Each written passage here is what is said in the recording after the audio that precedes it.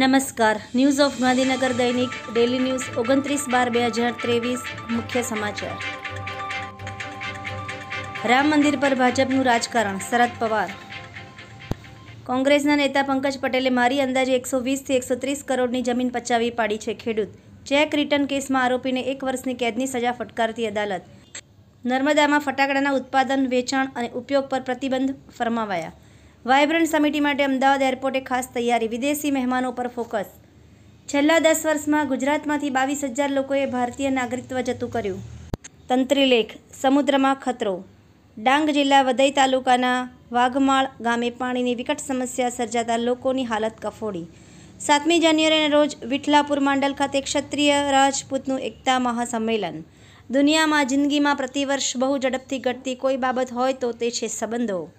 દાંતીવાડા તાલુકાના પાંથાવાડા ગામે વિકસિત ભારત સંકલ્પ યાત્રા અંતર્ગત લાભાર્થીઓને લાભ અપાયા.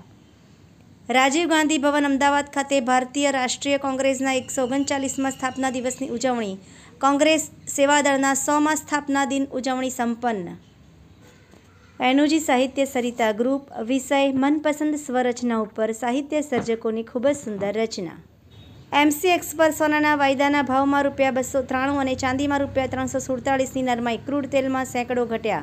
Daily market report, Naimish Trivedi. અયોધ્યામાં ભગવાન શ્રીરામના નવનિર્માણ પામી રહેલ ભવ્ય અને દિવ્ય મહામંદિર તરફથી સમગ્ર દેશમાં ઘર ઘર અયોધ્યા અભિયાન આરંભાયું છે. રાજકોષના ઉપક્રમે નિસર્ગ સાયન્સ સેન્ટર દ્વારા બાવીસ ડિસેમ્બર અંતર્ગત રાષ્ટ્રીય ગણિત સપ્તાહની ઉજવણી જુદા જુદા કાર્યક્રમો દ્વારા કરવામાં આવી. ભારત ન્યાયયાત્રા ચૌદ જાન્યુઆરી બે હજાર ચોવીસના રોજ કોંગ્રેસ પક્ષના રાષ્ટ્રીય નેતા શ્રી રાહુલ ગાંધીના નેતૃત્વમાં મણિપુરથી પ્રારંભ થશે.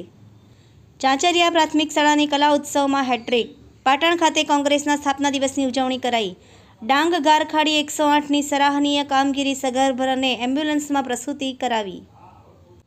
આ ઉપરાંત મિત્રો, આપને વધુ વિગતવાર સમાચાર જોવા હોય તો આપ અમારી website W W dot Janfariyad news dot com પર નિહાળી શકો છો. આભાર મીનાક્ષી રાવલ ગાંધીનગર ન્યૂઝ ઓફ ગાંધીનગર દૈનિક જનફરિયાદ ન્યૂઝ ડોટ કોમ.